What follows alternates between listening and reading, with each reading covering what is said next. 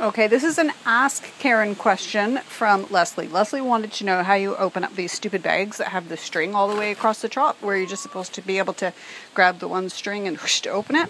So, when you have your string, your bags that are uh, closed with string like this, there will be a long chain like this on one side and another chain on the other.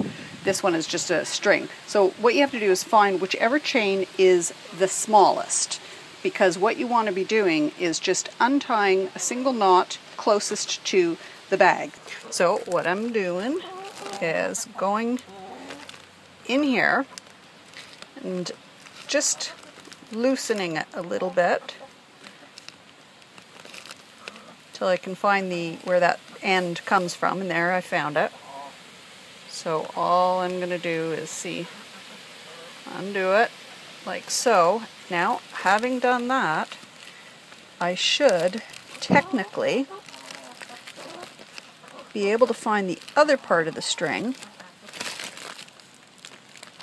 and just pull it.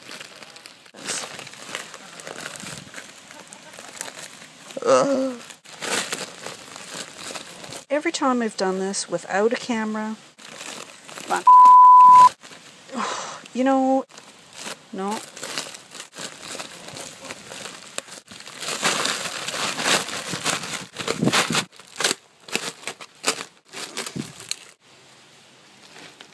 there. And as you can see, Leslie, nice and open there. That just worked perfectly. So there you go.